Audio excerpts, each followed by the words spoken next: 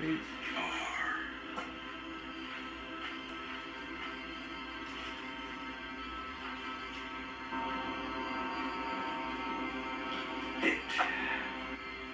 Anybody moves, anybody says anything, cut the boy's other eye out, feed it to his father, and then we'll stop.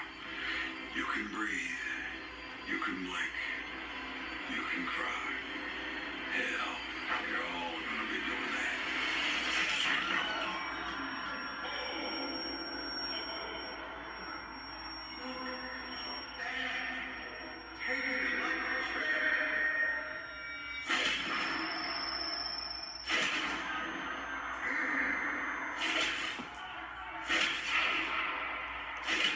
Stop, please stop.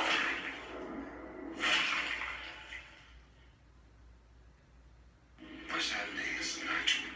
It couldn't be more natural. The world couldn't sustain itself, so it said enough. Fuck! This is the end of the world.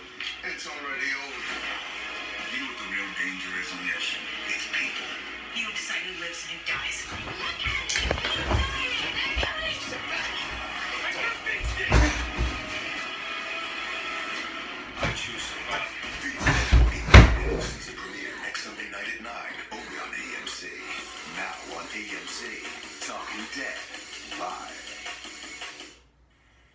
There was. That was the last scene of season six finale. Are you feeling okay? Are you all right? Negan was more shocking than a Walker mega herd, more terrifying than the wolves and the governor mashed up into a. The introduction of Negan means a very gruesome goodbye for one of our own. We're going to talk through all this tonight.